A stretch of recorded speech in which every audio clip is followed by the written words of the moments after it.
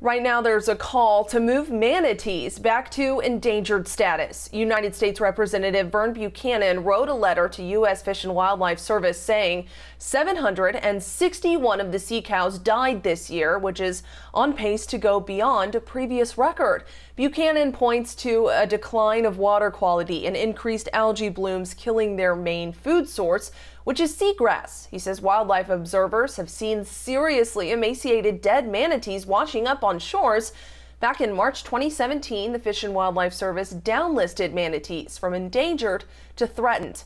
Katie Johnston for CBSMiami.com.